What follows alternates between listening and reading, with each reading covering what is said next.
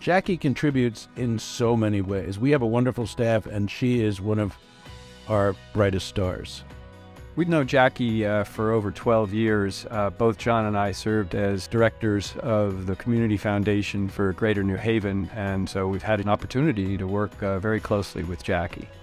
And Jackie's also local. Uh, she grew up in Hamden, still lives in Hamden. She went to Southern Connecticut State University for her undergraduate degree. So uh, she's about as local as you can get, and that her, her work, her care, her dedication goes just beyond uh, the foundation to the New Haven community at large. My, my formative time with Jackie was similar to The Empire Strikes Back when Luke Skywalker's on a distant planet with Yoda and they're doing training exercises and Yoda's on his back telling him, run, yes. A Jedi must think, a Jedi must do this. That is who Jackie was to me. And eventually I would go on to become a Jedi. So I think I met Jackie 20 years ago. She listened. And how I know she listened is because she'll circle back and offer something aligned with what you felt like you needed. People know the Great Give. Thousands, tens of thousands of donors contribute every year to benefit hundreds and hundreds of nonprofits in this community.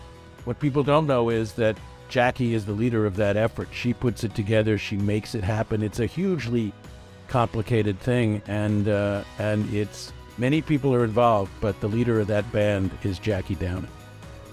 The Dream League's not possible without Jackie Downing.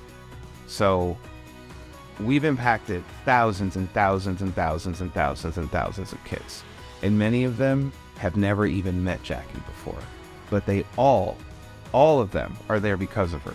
And I think that is what makes her special is that she does not need a pat on the back to be a hero. She doesn't need brand commercials. She doesn't need to be in the spotlight. She just needs to know that things are happening.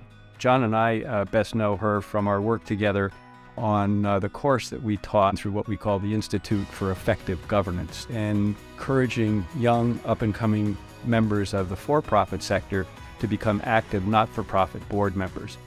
So we put the program together.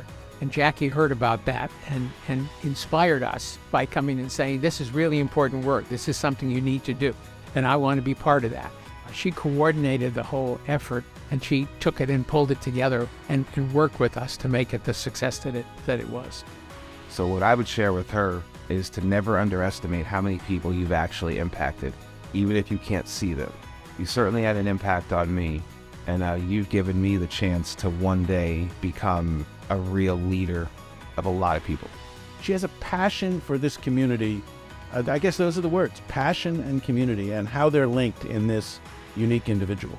It's such a tribute to her work in the nonprofit sector. In fact, it's a tribute to the nonprofit sector and the leadership role that nonprofits provide and the indispensable leadership role that nonprofits provide in this community. She is squarely in your corner. Jackie is committed. When she takes on a project, she finishes it. She makes sure that it works and that it works well. You are deserving of this award. Congratulations. We appreciate you. I appreciate you. I love you and thank you for all that you have done